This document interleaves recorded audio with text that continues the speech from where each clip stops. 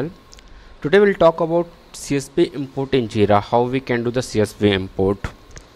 So first of all this is useful for if you are uh, mm, migrating or if you are uh, importing issues from another instance to your instance. So it will be useful. So there are two type of CSV import are available. One is for the user one one is for the admin one. So what's the difference between user and admin I will tell you so first of all how you can create for the user? If you click on issues and import issues from CSV okay. This is external CSV import. This is the for the user one. And if you are admin then let's go to system.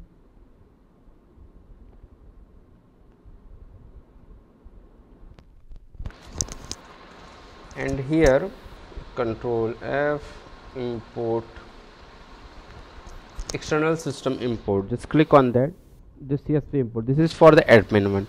So what's the basic difference between them? The basic difference is uh, like if you, you are doing the admin uh, import then just take example if priorities some priorities are not available in your instance okay?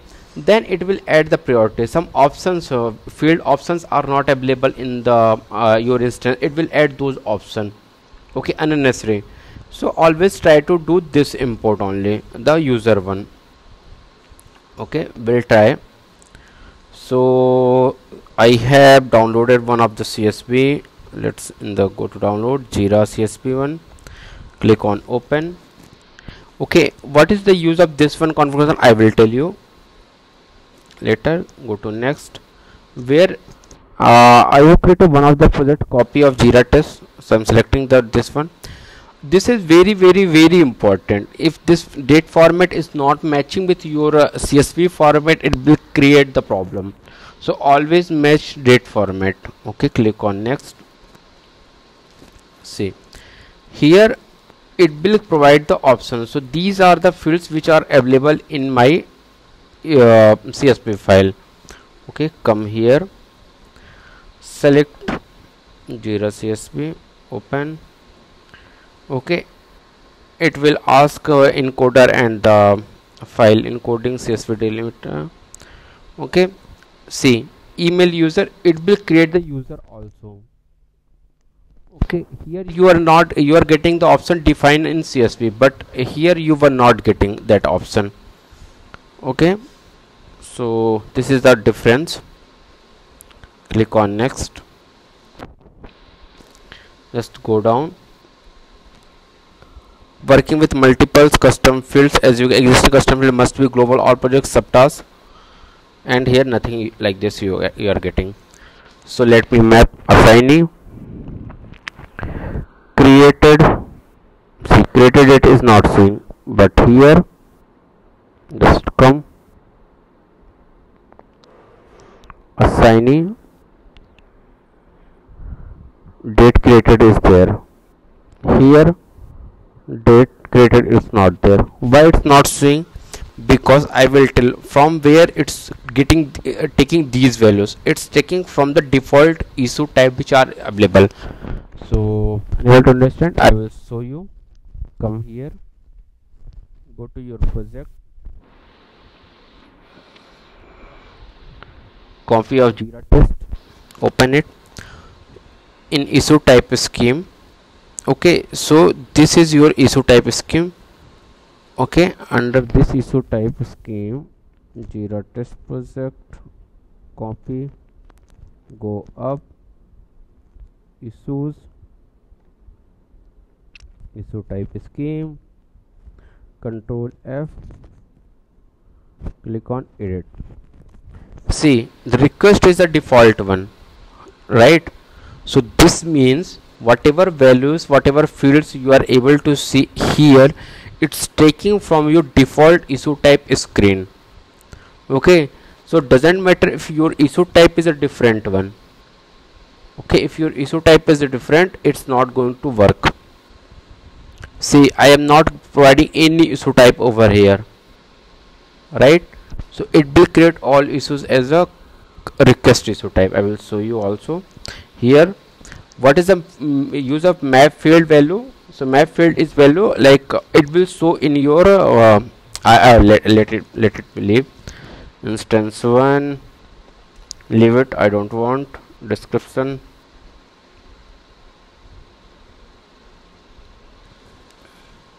Don't map. A reporter. A resolution is required. Status status. Summary.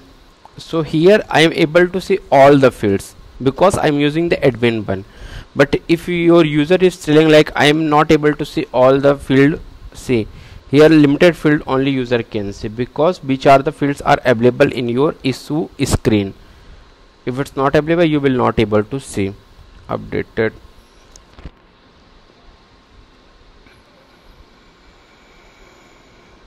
date modified. So date modified is a updated one. You will not find the updated one. Okay click on next. Here it will ask for the begin import and the back option. Okay let me click on back. If you select the map field value what will happen? Just come down. Click on next. It will show see it's showing from the importer from your CSV and this is the target one how the status is going to map how this uh, importer is going to map. Okay here you are not getting the validator option right? So here created is not there so I cannot add it. Leave it. Description is there. Reporter is there. Resolution. See resolution is also not there because we never add resolution in the create screen. Dot map. Status is also not there so we cannot use the status also. Summary. Date modified. C so this is the basic difference between these two. Let me click on next. Here you will get one option. This is a validate option but here in this external system import means the, from the admin you will not get the validate option. So I cannot validate it's going to work or not what will happen just click on validate. From but for the normal user it will check. See eh, 107 issues will be created one and three issues will not be created because description is required. And for some of the issues description is not there so what is the save the configuration? Means i have done this um, migration oh sorry this um, mapping right? Assign is going to use the assigning and all those things.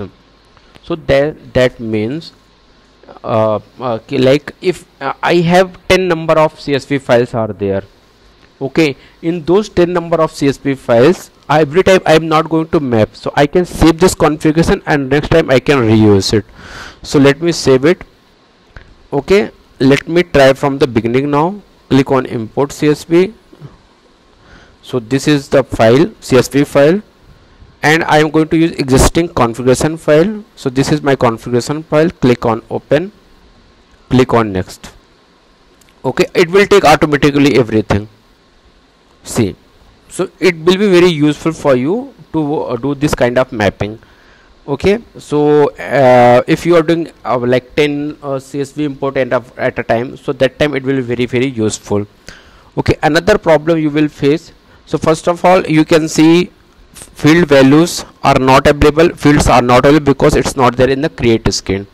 Issue time i am not adding so what what issue it will create? Issue type let me click on next and show the begin import only see it will show how many issues uh, it's going to import. So whatever the details you can see over here the progress you can see it. Another problem you will face uh, let me show you. See this is the download file download log file. So you can check how the things all the default issue type it's creating. So all issues will create the request only. But in my csv all issues were not a which one? It was not a request. It was some subtask also. Every uh, details other the different type of issue types was there. But currently it's created all the issues are the request only see. All the issues are request. So this kind of mistake if you are doing then uh, again what I have to do I have to delete it. If I'm going to delete all these issues I am going to lose my number. This issue key number from where it will start it will start from the 108 now okay so this kind of problem you will face in the CSV import. See here I am not getting the validating option also. So I don't know how many issues are were there in my uh, CSV how many issues are going to create those kind of things I cannot see it. Okay let me open this my CSV file. And you should be having the permission to create bulk issue. If you don't have permission for creating the bulk issue it will give error only okay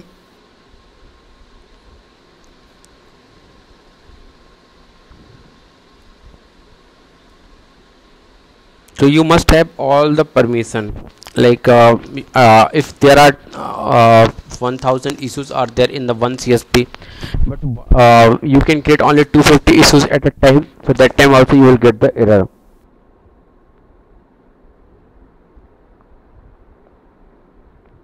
Okay so this is my the csv file.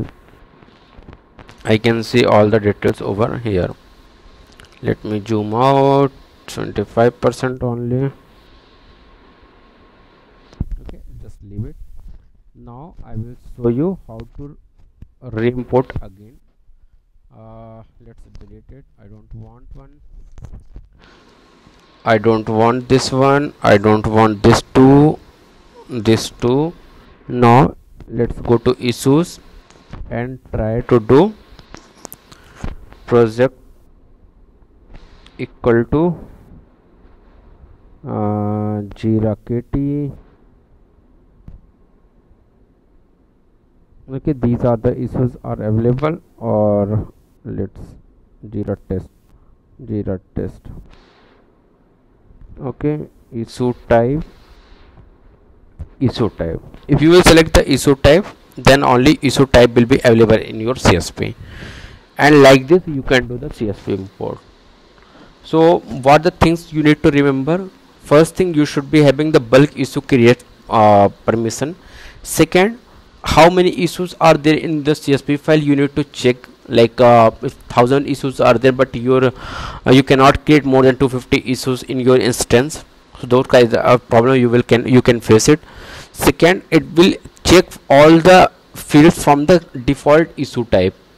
Okay so default issue is a request then uh, just whatever fields are there in the request it will take only those fields.